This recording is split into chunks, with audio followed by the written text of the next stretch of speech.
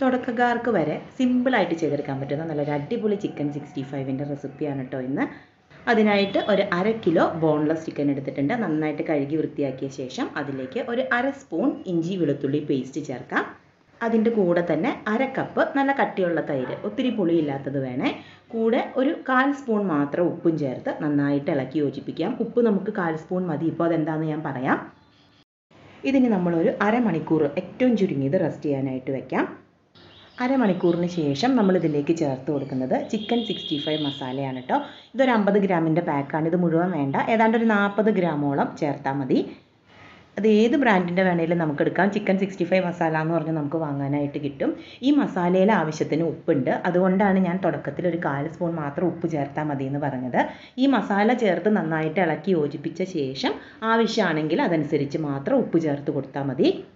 ഇതിലേക്ക് ഇനി ഒന്ന് രണ്ട് കാര്യങ്ങളും കൂടെ ചേർക്കാനുണ്ട്. അത് നമ്മൾ ആ വറക്കുന്നതിന് തൊട്ട് മുമ്പ് മാത്രമേ നമ്മൾ ചേർക്കുള്ളൂ. ഇത്രയാക്കിയ ശേഷം ഏറ്റവും ചുരുങ്ങിയത് ഒരു അരമണിക്കൂർ നേരമെങ്കിലും വെക്കുക. ശരിക്കും ഇത് ഓവർനൈറ്റ് ഫ്രിഡ്ജിൽ വെച്ച് നമ്മൾ പിറ്റത്തെ ദിവസം എടുത്ത് വറുക്കുകയാണെങ്കിൽ ഒരു പ്രത്യേക രുചിയാണ് കേട്ടോ ആ മസാലയൊക്കെ ആ മീറ്റിലേക്ക് നന്നായിട്ട് പിടിച്ച് കിട്ടും. ഇനി വറുക്കുന്നതിന് തൊട്ട് മുമ്പ് ഒരു രണ്ട് തണ്ട് കറിവേപ്പില ഇതുപോലെ ചെറുതായിട്ട് അരിഞ്ഞത് ചേർക്കാം. അതുപോലെ തന്നെ നമ്മൾ ചേർക്കേണ്ടത് കോൺഫ്ലോറാണ് ഒരു മൂന്ന് സ്പൂണോളം കോൺഫ്ലോറും കൂടെ ചേർക്കാം. വറുക്കുന്നതിന് തൊട്ട് മുമ്പ് മാത്രം കോൺഫ്ലോർ ഇതുപോലെ ചേർത്ത് നന്നായിട്ട് ഇളക്കി യോജിപ്പിച്ച ശേഷം വേണം നമ്മളിത് വറുക്കാൻ. ഇങ്ങനെ ചെയ്യുമ്പോൾ ആ ചിക്കന്റെ ഔട്ടർ ലെയർ നല്ല ക്രിസ്പി ആയിട്ടും എന്നാൽ ഉള്ളു നല്ല ജ്യൂസി ആയിട്ടും നമുക്ക് കിട്ടും.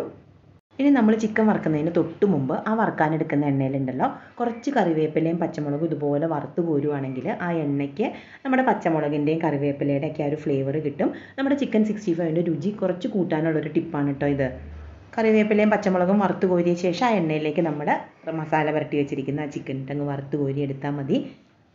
സിമ്പിളായിട്ട് തന്നെ പെട്ടെന്ന് നമുക്ക് ചെയ്തെടുക്കാൻ പറ്റുന്ന ഒരു ചിക്കൻ സിക്സ്റ്റി ഫൈവ് ആണ്.